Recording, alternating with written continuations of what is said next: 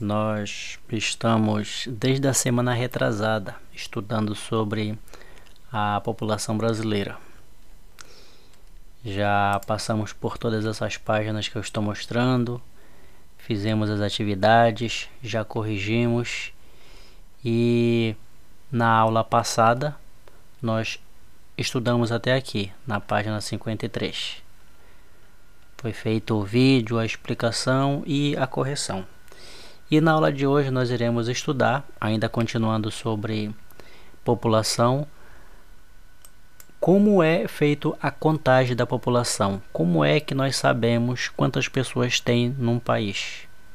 E nesse caso, o nosso objeto de estudo aqui é a população brasileira.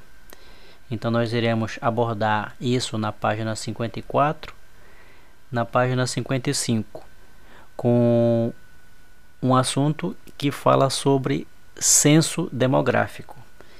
E ela passa aqui com mais informações para a página seguinte, aonde nós iremos realizar uma pequena atividade de recenseamento, que está na página 56 e 57. Eu vou explicar mais detalhadamente como se dará essa aula. Já temos aqui as quatro páginas de estudo e vamos começar. O título é Como contar a população de um país. Nós já sabemos que o Brasil é o quinto maior,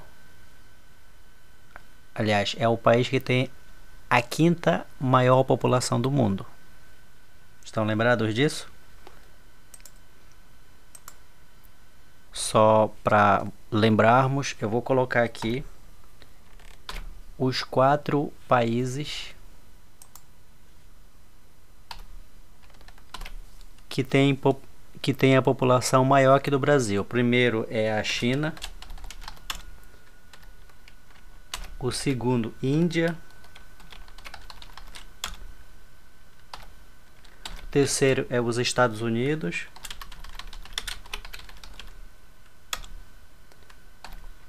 Quarto é a Indonésia. E o Brasil aparece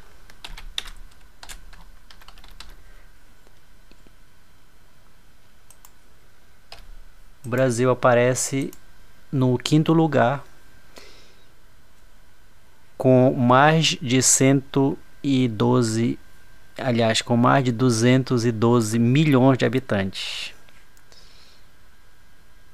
E é sobre essa população que nós vamos estudar, mas a nossa base de contagem aqui, ela se dá no último censo que foi feito, que foi o censo demográfico de 2010. Eu já havia dito em aulas passadas que o censo demográfico é feito de 10 em 10 anos. E o que é o censo demográfico? É a contagem da população. Ele é feito de 10 em 10 anos e a última vez que foi feito foi em 2010. A próxima contagem seria em 2020. Daí veio a pandemia e por causa disso, já que a contagem da população ela mobiliza muitas pessoas, que são os contadores, chamado de recenseadores. Eles precisariam, eles precisam sair às ruas para fazer essa pesquisa e a contagem, e por causa da pandemia, em 2020 não foi possível realizar.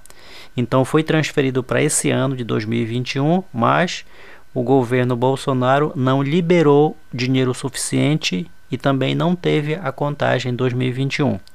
A promessa é que tenha que essa contagem seja feito em 2022. Espero que sim, porque o censo demográfico ele é muito importante. Essa contagem da população é importante para nós termos um retrato, não um retrato como fotografia, mas para nós sabermos quantas pessoas tem no Brasil, quantos homens, quantas mulheres, quantas crianças, aonde tem escola, aonde está faltando hospitais e etc. Então é para isso esse tipo de de serviço que é importante o recenseamento. E vamos lá no assunto que diz o seguinte aqui, ó. Como contar a população de um país? Você já imaginou como é calculado o número de habitantes de um país tão populoso como o Brasil? Lembrando que o Brasil tem a quinta maior população do mundo. Eu havia demonstrado bem aqui, ó. Certo? A contagem da população brasileira é feita por meio do censo demográfico. Olha lá, censo demográfico que eu havia falado. O que é o censo demográfico? Se eu perguntar isso num trabalho avaliativo, o censo demográfico é a contagem da população. Olha lá, a contagem da população brasileira é feito por meio do censo demográfico e o censo brasileiro é realizado pelo IBGE. Eu já havia dito para vocês que o IBGE significa é a sigla que significa Instituto Brasileiro de Geografia e Estatística. É isso que significa IBGE. E se vocês notarem, vocês vão ver que as primeiras letras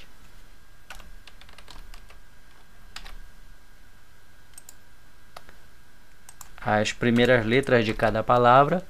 Olha lá. I, B, G, E. As primeiras letras de cada palavra é o órgão que é responsável pela contagem da população. Então veja lá, o censo brasileiro é realizado pelo IBGE a cada 10 anos, como eu falei para vocês. É feito a cada 10 anos. O último feito foi em 2010. As informações são obtidas por meio de questionários aplicados à população em suas residências. É por isso que os recenseadores eles precisam sair às ruas. Porque eles vêm às casas, fazem uma série de perguntas para os moradores, perguntam quantas geladeiras tem, se tem banheiro dentro da casa, banheiro fora, quantos cômodos tem a casa, se tem água encanada, é uma série de perguntas que reside nesse questionário em quase todos os municípios do país. E o Brasil tem mais de 5 mil, olha lá, o Brasil tem mais de 5 mil e 500 municípios. E Macapá, por exemplo, Macapá é apenas um desses municípios. São mais de 550 mil cidades que existem no Brasil todo. É muito, né, para se contar. Nós temos aqui dados do Censo Demográfico de 2010. Vejam aqui, ó. A população do Brasil era de, eu vou colocar bem aqui, olha. Eu gostaria que vocês, primeira tarefa, que vocês escrevessem por extenso esse número aqui, ó. Eu não vou nem ler para vocês. Eu quero que vocês escrevam por extenso esse número bem aqui embaixo, pode ser. Eu tracei uma linha pontilhada aqui, que lá no livro de vocês vocês vão escrever por extenso esse número aqui, ó. É o número que tem nove ordens e três classes. Ela, esse número aqui,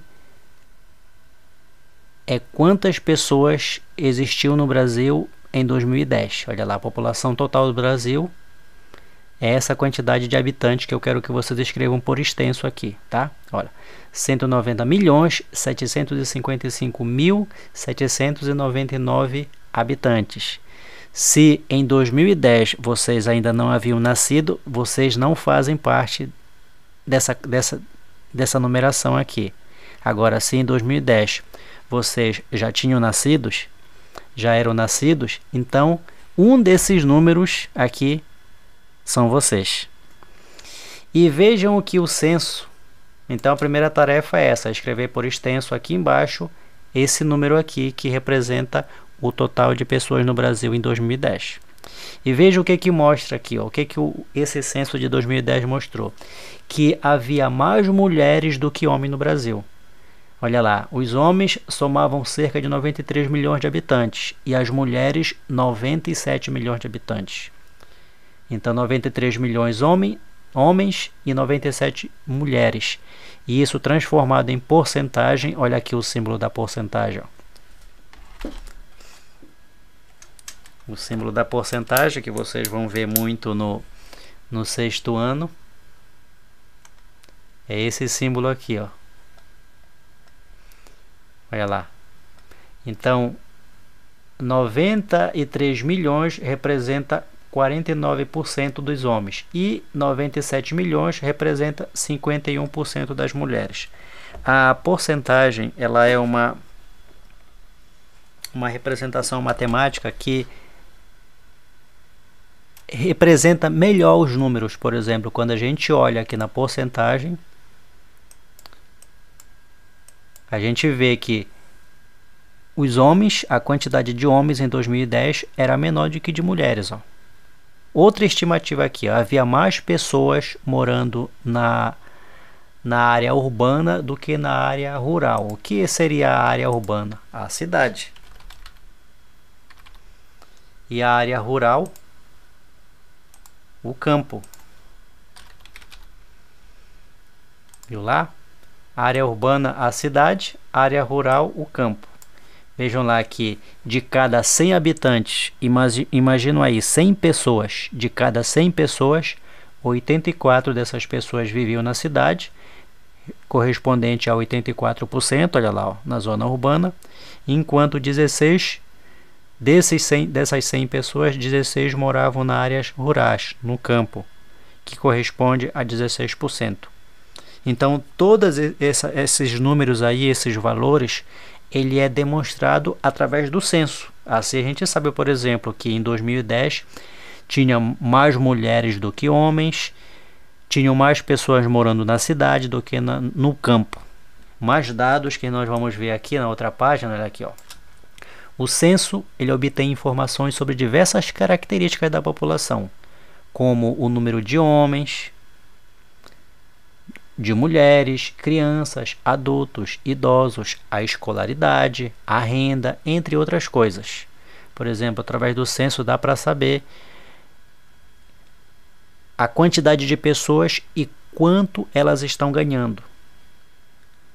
Se aumentou o número de pessoas empregadas, se aumentou o número de pessoas milionárias, se diminuiu. Então, tudo isso é levantado através do censo escolar. Então, essa coleta de informações é realizada pelos recenseadores. Olha aqui, ó. Recenseadores são as pessoas que vão nas casas fazer a pesquisa. Os recenseadores são pessoas devidamente treinadas pelo IBGE para registrar os dados fornecidos pela população. Veja alguns dados obtidos pelo último censo demográfico realizado no Brasil, como eu falei, no ano de 2010. Nós temos aqui, por exemplo, ó, nessa pirâmide, ela mostra o seguinte: ela mostra a renda da população, ou seja, quanto foi que a população ganhou, estava ganhando em 2010. Olha lá, a renda da população em salários mínimos. Se vocês observarem, 44%, ou seja, quase a metade da, da população brasileira, porque a metade seria quanto? E aí, quanto é que vocês arriscam? Quanto é que seria uma metade? A metade seria 50%. Por isso que eu falei aqui, ó, quase a metade, porque 44 está próximo de 50. Quase a metade da população, correspondente a 44%, ganhava até um salário mínimo. E olha que nessa época, em 2010, vejam aqui quanto era o salário mínimo em 2010. Olha aí, 510 reais apenas. Então, 44% da população, vejam lá, esses 44% aqui, ganhava até um salário mínimo. Viram lá como a maioria das pessoas. E a informação diz o seguinte: juntando esses 30% mais os 44%, é essa informação aqui, olha. Mais da metade da população brasileira ganhava menos de dois salários mínimos. E esses 30% ganhavam entre 1 e 2 salários mínimos. E apenas 1%, que é o topo da pirâmide, corresponde às pessoas que ganham mais de 5 salários, ganhavam lá em 2010 mais de 5 salários mínimos. Viram como são poucas as pessoas? E quando for feito o censo demográfico em, no ano que vem, a gente vai ver que esse número vai mudar. Só que também aumentou o número de pessoas desempregadas, pessoas ganhando menos. Esses dados que a gente vai ver. Também nós podemos ver aqui nesse outro gráfico aqui, ó, que é um gráfico que mostra crianças, jovens, adultos e idosos em 2010. E a informação diz aqui, olha, no Brasil havia mais idosos com idade acima de 60 anos de idade do que crianças com menos de 5 anos. Se referindo aqui, olha, veja que crianças de 0 a 4 anos correspondia a 7%, enquanto que os idosos acima de 60 anos, de 60 anos eles eram correspondente a 11%. É isso que diz aqui nessa informação, ó, que em 2010 existiam mais idosos com mais de com até com acima de 60 anos do que crianças com até 0 a 4 anos. E nesse ano, de acordo com o gráfico, a quantidade maior de pessoas eram, eles tinham a faixa etária entre 25 e 34 anos, olha aqui, ó. Por isso que a barra do gráfico está maior, que correspondia a 17%. É esse panorama que o censo demográfico ele nos mostra. É por isso que eu estou ansioso para para ver como é que está o, o, como é, o que é que o censo demográfico de 2020, mas que vai ser feito em 2022, ano que vem, vai nos mostrar. E essa daqui é outra pergunta que eu quero que vocês respondam. Olha lá. Ó.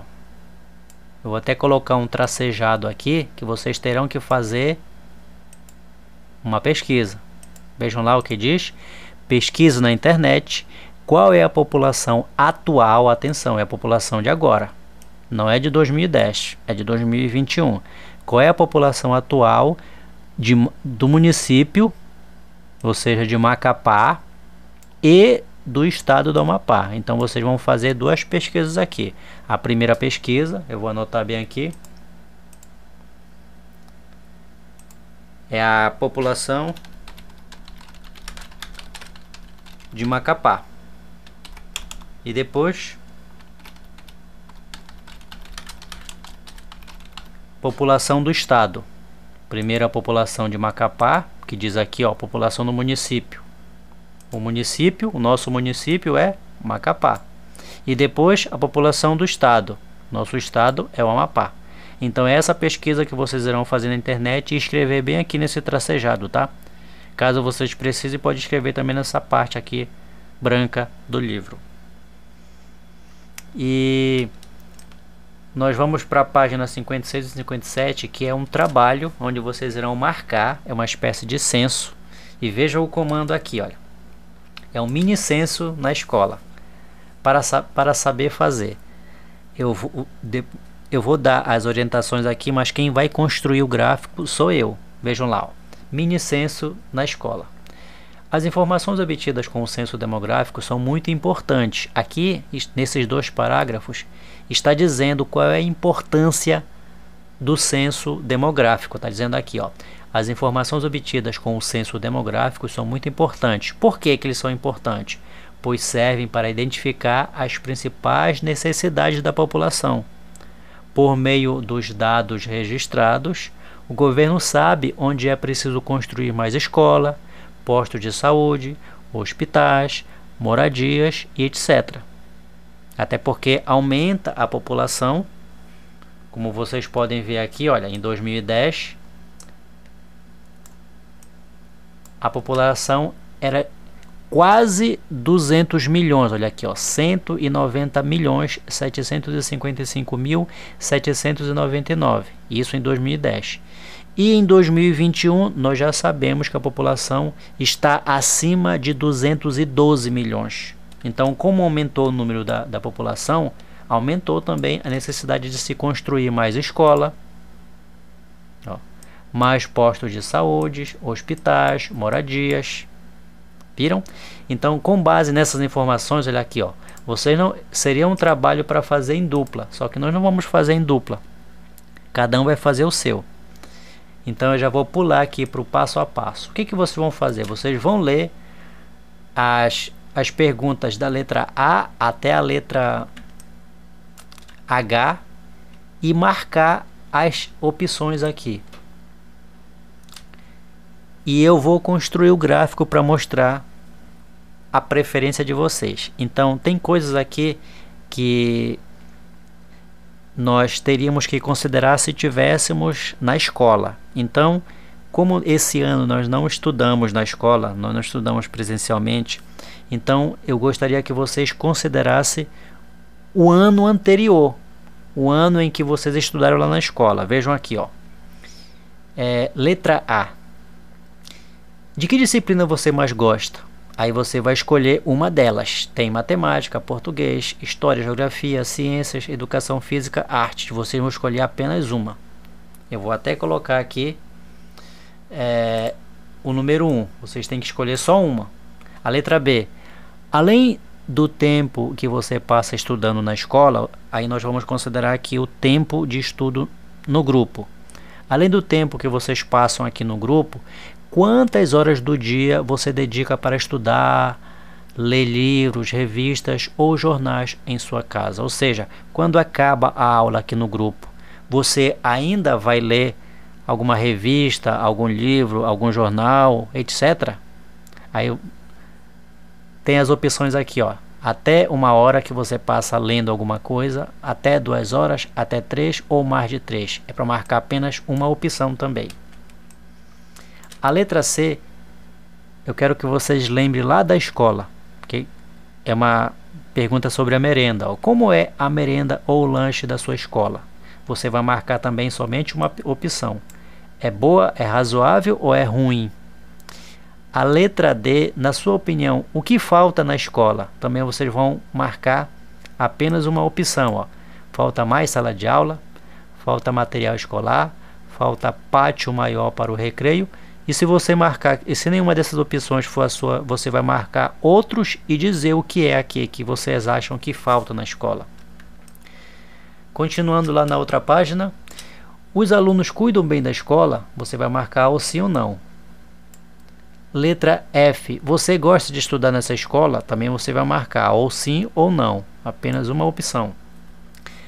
A penúltima, letra G. O que você mais gosta de comer no lanche da escola? Você vai marcar também apenas uma opção. Frutas, arroz, sopa, macarrão, leite, e se não for nenhuma dessas, você vai marcar em outros e escrever aqui o que você gostaria de comer no lanche da escola.